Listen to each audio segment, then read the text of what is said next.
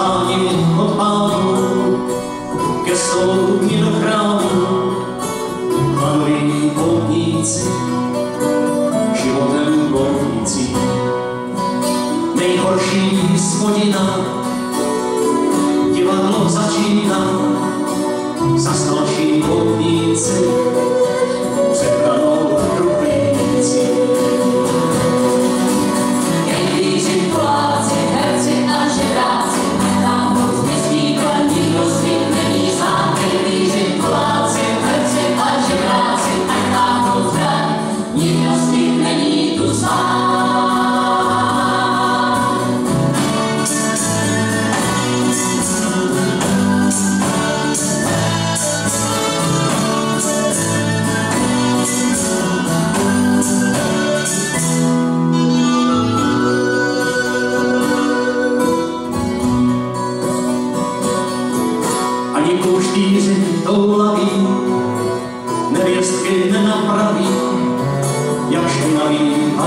to